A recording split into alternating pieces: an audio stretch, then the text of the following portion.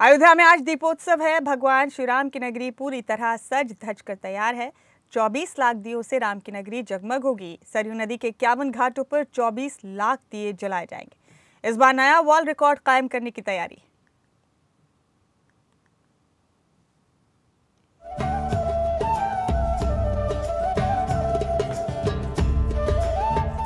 दीपोत्सव पर एक बार फिर रामनगरी अयोध्या नया रिकॉर्ड बनाने जा रही है। आज अयोध्या 24 लाख दीपकों से रोशन होगी।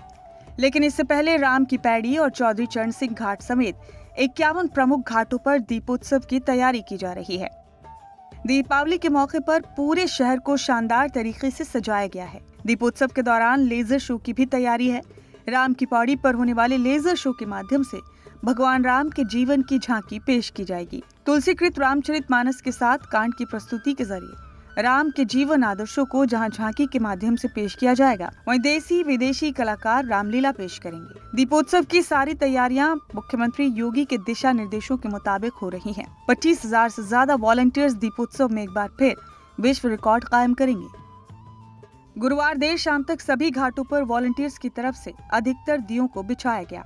दीपोत्सव में इस्तेमाल होने वाले दियों का आकार 24 एम है, जिसमें सरसों का तेल वॉलंटियर्स की तरफ़ से डाला गया है। राम की पौड़ी और चौधरी चरण सिंह के इक्यावन घाटों पर। वॉलंटियर्स की तरफ़ से 25,000 से ज़्यादा 16 गुना 16 दियो का ब्लॉक बनाया गया है जिसमें दो सौ छप्पन दिए सजाए गए इनमें एक वॉलंटियर के जिम्मे पिचासी से 90 दिए प्रज्वलित करने की ज़िम्मेदारी होगी। वहीं अयोध्या के घाटों से लेकर शहर तक में सुरक्षा के पुख्ता इंतज़ाम किए गए हैं। सभी वॉलंटियर्स को सूती परिधानों में रहने के आवश्यक दिशा निर्देश दिए गए हैं। वहीं शहर की सुरक्षा व्यवस्था का सभी अधिकारियों ने जायजा लिया। अयोध्या मंडलायुक्त जिला अधिकारी नीतीश कुमार, पुलिस महानिरीक्षक प्रवीण कुमार, वरिष्ठ पुलिस अधीक्षक राजकरण नैयर ने दीपोत्सव को सकुशल संपन्न कराने के लिए कार्यक्रम के आयोजन स्थल और दर्शक दीर्घा का जायजा लिया। दीपोत्सव भी मनाया जाएगा। और उसके बाद से दिनांक बारह को दीपावली का पर्व है। उसके बाद गोवर्धन पूजा, भैया दूज तथा छठ का पर्व होगा।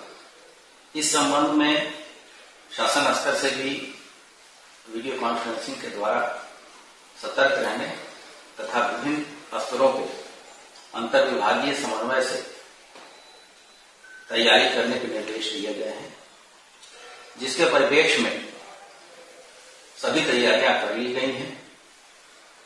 लगभग ग्यारह हज़ार पाँच सौ माँ काली और माँ लक्ष्मी की मूर्तियाँ भी स्थापित होंगी और धार्मिक उत्सव के बाद से इसका विसर्जन भी होगा। विसर्जन के दौरान होने वाली सभी तैयारियों के बारे में भी बताया गया है। विसर्जन की जगहों पे फिसलन न हो, वहाँ भीड़ भाड़ होगी, भीड़ प्रबंधन की व्यवस्था हो। इन सभी चीज़ों को लेकर प्रशासन सतर्क है।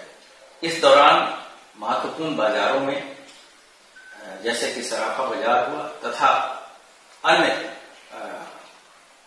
भीड़ भाड़ वाले स्थल पे वरिष्ठ अधिकारियों के द्वारा नियमित फुट पेट्रोलिंग तथा बता दें कि यूपी में योगी आदित्यनाथ के सीएम पद पर काबिज होने के बाद ये सातवां दीपोत्सव है। इस बार यूपी के साथ कई प्रदेशों की संस्कृति से रूबरू कराया जाएगा। योगी सरकार, धोबिया, फरुआही, राई और छाऊ लोक नृत्य को भी वैश्विक मंच दे रही है।